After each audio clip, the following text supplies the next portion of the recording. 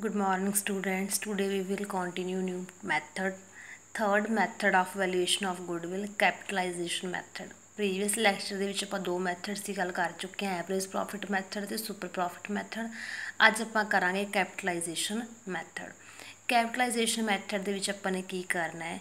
Average profit into 100 upon normal rate of return super profit ਦੇ ਵਿੱਚ ਮੈਂ ਕੀ ਕਰਵਾਇਆ ਸੀ?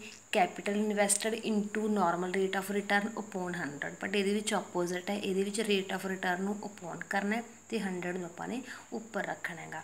ਤੇ ਅਪੋਨ ਦੇ ਵਿੱਚ ਇਨਟੂ ਦੇ ਵਿੱਚ ਆਪਾਂ ਨੇ ਕੀ ਕਰਨਾ ਹੈਗਾ? ਐਵਰੇਜ ਪ੍ਰੋਫਿਟਸ ਕਰਨੇ ਨੇ ਤਾਂ ਇਸ ਤੇ ਆਪਾਂ ਇੱਕ ਕੁਐਸਚਨ ਕਰਦੇ ਹਾਂ ਕਿ from the figures given below calculate goodwill according to capitalization of average profit method first ਕੀ ਹੈ actual average profit normal rate of return assets and liabilities ਤਾਂ ਆਪਾਂ ਨੇ ਸਭ ਤੋਂ ਪਹਿਲਾਂ ਕੀ ਕਰਨਾ ਹੈ ਕੈਪੀਟਲਾਈਜ਼ਡ ਵੈਲਿਊ ਕੈਲਕੂਲੇਟ ਕਰਨੀ ਹੈ ਤਾਂ ਆਪਾਂ ਕਰਾਂਗੇ average profit into 100 upon normal rate of return ਕਿਉਂਕਿ ਐਵਰੇਜ ਪ੍ਰੋਫਿਟ ਆਪਾਂ ਨੂੰ ਗਿਵਨ ਨੇ ਆਪਾਂ ਨੂੰ ਚਾਹੀਦੀ ਹੈ ਕੈਪੀਟਲਾਈਜ਼ਡ ਵੈਲਿਊ ਤਾਂ ਕੈਪੀਟਲਾਈਜ਼ਡ ਵੈਲਿਊ ਨੂੰ ਕੈਲਕੂਲੇਟ ਕਰਨ ਦਾ ਇੱਕੋ ਫਾਰਮੂਲਾ ਹੈ average profit into 100 upon normal rate of return ਤਾਂ ਆਪਾਂ ਕੀ ਕਰਾਂਗੇ ਐਵਰੇਜ ਪ੍ਰੋਫਿਟ ਨੂੰ ਲਿਖਾਂਗੇ into 100 upon normal rate of return ਆਪਣੇ ਕੋਲ ਕੀ ਆ ਗਈ ਕੈਪੀਟਲ ਇੰਪਲੋਇਡ ਆ ਗਈ ਤਾਂ ਕੈਪੀਟਲ ਇੰਪਲੋਇਡ ਕਿਸ ਤੇ ਇਕੁਅਲ ਹੁੰਦੀ ਹੈ ਐਸੈਟਸ ਮਾਈਨਸ ਲਾਇਬਿਲਿਟੀਜ਼ ਤੁਸੀਂ A ਮਾਈਨਸ L ਕੀਤਾ ਨਾ ਇਹ assets minus liabilities equal to capital dual aspect concept ਦੇ ਵਿੱਚ, ਤਾਂ ਉਹ ਹੀ ਫਾਰਮੂਲਾ ਆਪਣਾ assets minus liabilities is equal to capital employed ਤਾਂ ਆਪਾਂ ਨੂੰ ਕੀ ਚਾਹੀਦੀ ਹੈ? ਗੁੱਡਵਿਲ ਚਾਹੀਦੀ ਹੈ, ਤਾਂ ਆਪਾਂ ਕੀ ਕਰਾਂਗੇ? ਕੈਪੀਟਲਾਈਜ਼ਡ ਵੈਲਿਊ ਵਿੱਚੋਂ ਐਸੈਟਸ ਨੂੰ ਮਾਈਨਸ ਕਰ ਦੇਵਾਂਗੇ, ਤਾਂ ਆਪਣੇ ਕੋਲ ਕੀ ਆ ਜਾਏਗੀ? ਗੁੱਡਵਿਲ ਆ ਜਾਏਗੀ। ਆਪਾਂ ਇੱਕ ਹੋਰ ਕੁਐਸਚਨ ਕਰਦੇ ਹਾਂ। ਦੇਖੋ, ਆਪਣੇ ਕੋਲੇ ਕੀ ਹੈ? ਪ੍ਰੋਫਿਟ ਦਿੱਤਾ ਆਪਣੇ ਕੋਲੇ ਤੇ ਰੇਟ ਆਫ ਰਿਟਰਨ ਦਿੱਤਾ ਹੋਇਆ ਹੈ। ਦੈਨ ਉਸ ਤੋਂ ਆਪਾਂ ਨੇ ਕੀ ਕੈਲਕੂਲੇਟ ਕਰ ਲੈਣੀ ਹੈ ਕੈਪੀਟਲਾਈਜ਼ਡ ਵੈਲਿਊ ਤਾਂ ਕੈਪੀਟਲਾਈਜ਼ਡ ਵੈਲਿਊ ਦਾ ਫਾਰਮੂਲਾ ਕੀ ਹੈ? Average profit into 100 upon normal rate of return ਤਾਂ ਕੈਪੀਟਲ ਇੰਪਲਾਈਡ ਆ ਗਿਆ ਤੁਹਾਡੇ ਕੋਲੇ।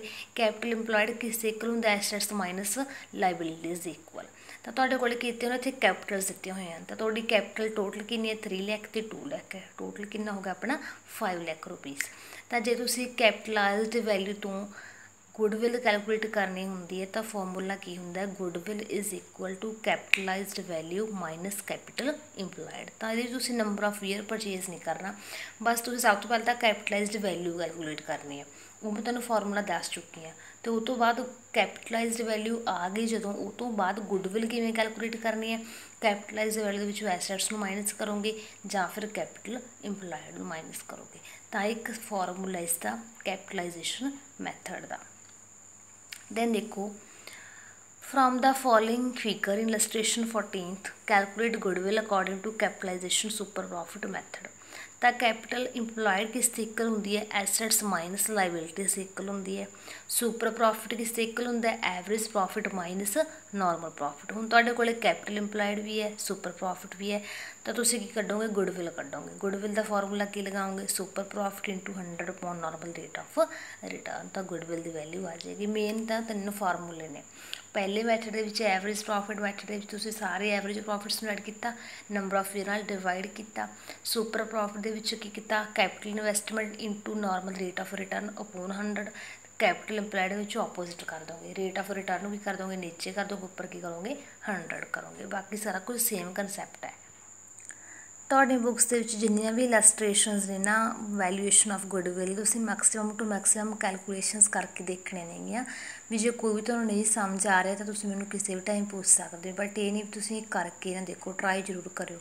ਇੱਕ ਇਲਸਟ੍ਰੇਸ਼ਨ ਮੈਂ ਹੋਰ ਕਰਵਾ ਰਹੀ ਹਾਂ ਕੈਪੀਟਲਾਈਜੇਸ਼ਨ ਮੈਥਡ ਦੀ। ਇਸ ਤੋਂ ਬਾਅਦ ਉਸ ਤਿੰਨਾਂ ਤਿੰਨੇ ਮੈਥਡਸ ਦੀਆਂ ਇਲਸਟ੍ਰੇਸ਼ਨਸ ਪਲੱਸ ਪ੍ਰੈਕਟੀਕਲਸ ਤੁਸੀਂ ਕੰਪਲੀਟ ਕਰ ਲੈਣੇ ਨੇ। ਕੋਈ ਵੀ ਨਿਊ ਕਨਸੈਪਟ ਆ, ਤੁਸੀਂ ਪੁੱਛ ਸਕਦੇ ਹੋ। ਇਸ ਦੇ ਵਿੱਚ ਆਪਣੇ ਕੋਲ ਕੀ ਨੇ? ਟੋਟਲ ਪ੍ਰੋਫਿਟਸ ਨੇ। ਤੁਹਾਨੂੰ ਟੋਟਲ ਨਹੀਂ ਚਾਹੀਦੇ, ਆਪਾਂ ਨੂੰ ਕੀ ਚਾਹੀਦੇ ਨੇ? ਐਵਰੇਜ ਚਾਹੀਦੇ ਨੇ। ਤਾਂ ਅਪੋਨ 2 ਕਰ ਦਿੰਦੇ ਹੁੰਦੇ ਆਪਾਂ। ਕਿਸੇ ਵੀ ਚੀਜ਼ ਦੀ ਐਵਰੇਜ ਕੱਢਣੀ ਹੋਵੇ ਜੇ ਕੁਝ ਵੀ ਨਾ ਅੱਗੇ ਉਹਨੂੰ ਤਾਂ ਆਪਾਂ 2 ਕਰਦੇ ਹੁੰਦੇ ਆ ਬਟ ਜੇ ਆਪਾਂ ਡੈਟਾ ਦਿੱਤਾ ਹੁੰਦਾ, ਫਿਰ ਆਪਾਂ ਅਪੋਨ ਡੈਟੇ ਨਾਲ ਕਰਦੇ ਹਾਂ। ਜਿਵੇਂ 5 ਦਾ ਪ੍ਰੋਫਿਟ ਹੈ, ਤਾਂ 5 ਨਾਲ ਡਿਵਾਈਡ ਕਰਕੇ ਐਵਰੇਜ ਪ੍ਰੋਫਿਟ ਆ ਗਈ। ਹੁਣ ਤੁਹਾਨੂੰ ਕੀ ਚਾਹੀਦਾ ਹੈ? ਐਵਰੇਜ ਪ੍ਰੋਫਿਟ ਤਾਂ ਹੈਗੇ ਨਾਰਮਲ ਪ੍ਰੋਫਿਟ ਚਾਹੀਦਾ ਹੈ। ਨਾਰਮਲ ਪ੍ਰੋਫਿਟ ਦਾ ਫਾਰਮੂਲਾ ਤਾਂ ਮੈਂ ਦੱਸਿਆ ਹੋਇਆ। ਕੱਲ ਦੱਸਿਆ ਸੀ। ਉਸ ਤੋਂ ਬਾਅਦ ਕੀ ਕੱਢੋਗੇ? ਤੁਸੀਂ ਐਵਰੇਜ ਮਾਈਨਸ ਨਾਰਮਲ ਕੀ ਹੁੰਦਾ? Super profit into number of years purchase ਕਰਕੇ ਕੀ ਆ ਜਾਂਦੀ ਹੈ? ਵੈਲਿਊਏਸ਼ਨ ਆਫ ਗੁੱਡਵਿਲ ਆ ਜਾਂਦੀ ਹੈ। ਜਾਂ ਫਿਰ ਜੇ ਗੁੱਡਵਿਲ ਤੁਸੀਂ ਨੰਬਰ ਆਫ ਈਅਰਸ ਨਾਲ ਨਹੀਂ ਕੈਲਕੂਲੇਟ ਕਰ ਰਹੇ, ਜੇ ਤੁਸੀਂ ਕੈਪੀਟਲਾਈਜੇਸ਼ਨ ਬੇਸ ਤੇ ਕਰ ਰਹੇ ਹੋ, ਫਿਰ ਕੀ ਹੋਏਗਾ? Super profit into 100 upon normal rate of return ਤਾਂ ਇਹ ਸਾਰੇ ਕਿਸੇ ਫਾਰਮੂਲਾ ਸੀਗੇ ਵੈਲਿਊਏਸ਼ਨ ਆਫ ਗੁੱਡਵਿਲ ਦੇ। ਤਾਂ ਤੁਸੀਂ ਜ਼ਿਆਦਾ ਤੋਂ ਜ਼ਿਆਦਾ ਜਿਹੜੇ ਪ੍ਰੈਕਟੀਕਲਸ ਨੂੰ ਕਰਕੇ ਵੇਖਿਓ ਸੋਲਵ ਕੋਈ ਵੀ ਡਾਊਟ ਹੋਏ ਤਾਂ ਪੁੱਛ ਲਿਓ।